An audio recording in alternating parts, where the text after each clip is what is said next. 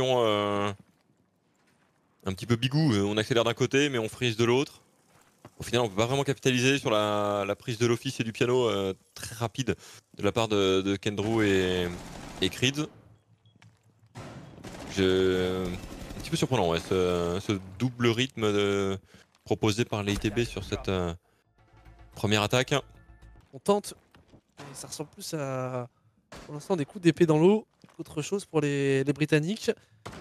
Alors on a un joueur qui a été inséré au niveau de cette euh, main, le désamorceur qui a été perdu sur la fenêtre. Il semble très compliqué là pour les ITB. Euh,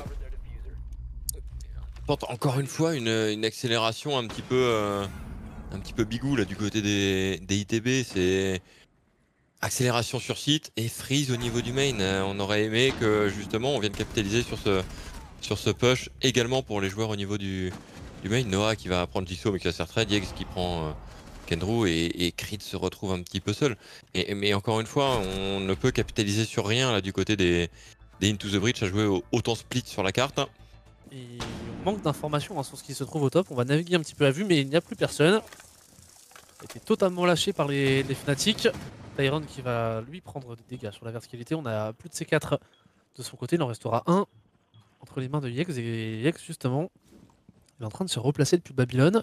Mais attention à la gestion du temps là pour les, les ITB. À 30 secondes, il va falloir penser euh, sérieusement à réorienter parce que les positions sont quand même l'avantage des Fnatic. On a un Tyrone qui est bien en place sur le site. Le C4 qui va être préplacé pour Yex. Et si on a une information, ça pourrait suffire à, à faire la différence sur une redescente au niveau du trophée. Alors est-ce que la position va être jouée par les ITB C'est pas certain. Tyrone qui va se débarrasser d'Oscar. Nova qui va être récupéré sur le bon site. Ça s'effondre totalement. Il ne reste que Chris qui va drop et qui va se faire récupérer également par Dipek pour le double kill. Et ça pousse, ça pousse Oscar qui va récupérer un premier et Chris voilà, qui accélère.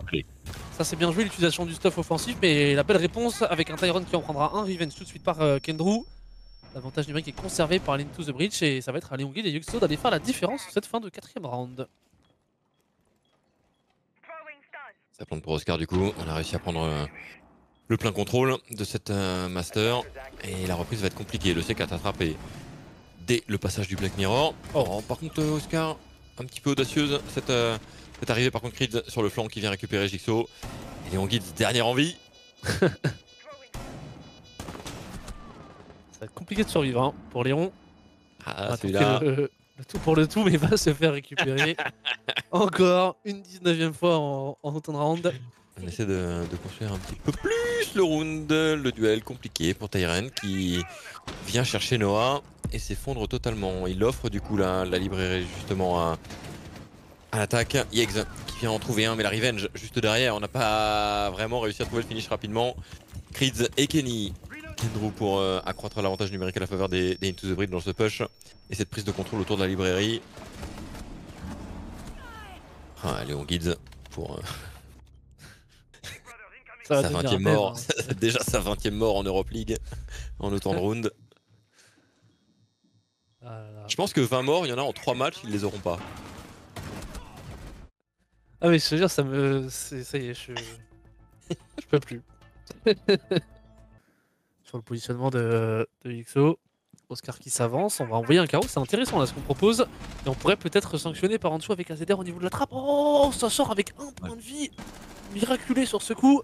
À 20 secondes, à 20 secondes, on va essayer de pousser, Oscar qui s'avance. Ah, ça va être compliqué de faire quoi que ce soit là dans cette exécution. Il y a la barrière qui bat qui vient protéger. Attention, on repasse au contact. On n'a pas compris le côté Oscar, on n'a pas compris, mais il va mettre un gros Wow. réflexe shot. Est-ce qu'on peut pas amorcer la plante avec un ZR qui va être à la cover? Oh les Fnatic, il va falloir réagir. Léon Guids qui tente euh, d'aller agresser. On va aller faire tomber le planteur Ah du oui, désamorceur et Léon Guids qui va survivre sur Alors ce round Alors pour la première fois en Europe League. C'est fait et les Fnatic vont chercher le break. Ouais, Tyrant dans le dos. Alors c'est en train de planter. On va le jouer à deux. On va le jouer à deux, mais maintenant il va falloir vite réagir parce que c'est en train de se passer sur l'étage inférieur avec un Léon Guids qui plante le désamorceur. Voilà qui est fait maintenant. Situation de retake à aller jouer pour les Into the Breach. Kendrew qui tente de trouver des mauvais positionnements, mais regardez, les Fnatic se sont bien replacés, ont reculé comme il fallait. Alors attention à ne pas non plus aller trop loin du désamorceur. On a déjà vu des scénarios catastrophes se, se dérouler.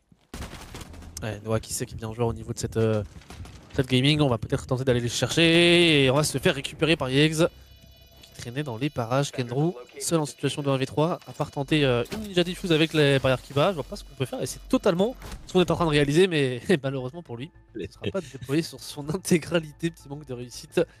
Ouais. Pas grand chose à se mettre sous la dent, le roaming qui a été efficace et qui va même pouvoir se permettre de redescendre. En tout cas, Oscar, il doit rester un, un crit, j'imagine, encore en, en infiltration qui va euh, se faire plaisir. Pas vraiment d'impact s'il tombe euh, maintenant. Bon, voilà, il va se faire récupérer. Attention tout de même derrière à, à ne pas être trop gourmand, être bien concentré parce qu'un mauvais positionnement est vite arrivé et on peut se faire surprendre. 2v4, ça peut se mettre. On l'a vu dans cette soirée. Et euh, voilà, mauvais positionnement. On n'était pas loin d'avoir le dos là de Kendro et son maestro. Tipek va tenter de s'avancer. On va aller récupérer la barrière qui bat une flash sur le pilier. Léon Gizli pourrait aller drop au Mais niveau non. de la trappe mais va se faire récupérer par Azedar. Le double kill pour conclure ce round solidement emmené par la défense des ITB. C'est terrible là pour les Fnatic, on est extrêmement lent sur ce round et on les sent complètement bloqués. On va retourner sur le top pour Dipek. Est-ce qu'on peut faire quelque chose? Dipek à l'insertion, Oh, on aurait pu avoir un Oh, cadeau là de, de AZR mais qui va totalement le, le, le tuer, remporter son duel. Il reste plus qu'Eggs en situation de, de 1v4. Ça devrait faire un quatrième euh, round remporté par les ITB, les Fnatic qui n'ont euh, pas que très peu existé dans ce round. hein. On, l'a même vu sur la gestion des positions étendues, c'était pas hyper propre. Dans l'utilisation du stuff, dans, dans la capacité à sanctionner, et derrière euh, dans la prise de position tout court même, sur ce top. On n'a pas du tout réussi à inquiéter les ITB. Et Legs ne va même pas aller jouer ce 1v4. Bon, un match qui peine à, à décoller Fufu dans le jeu. Bah, les ITB euh, en offre 2, voire peut-être 3. On n'a pas vu le, kill pris par de, de l'autre côté. Mais enfin, là, c'est un 5v2 à 50 secondes. Il va falloir un choc et un clutch de l'autre côté. Ouais, Tyron qui est positionné en bas de l'escalier. Pourrait pousser sur un Chris qui est en train de lui euh, jouer son Vatou en, en room. Yex s'avance depuis la bridge. On est accompagné du planteur, du désamorceur qui est Dipek. Dipek, dans un FNAT, va tout de même pouvoir s'avancer sans être trop inquiété. Chris qui fait son retour, totalement annoncé par un Ratero. Et la cover qui est en place. Le doublé du Finlandais, Tyron qui va conclure dans le dos.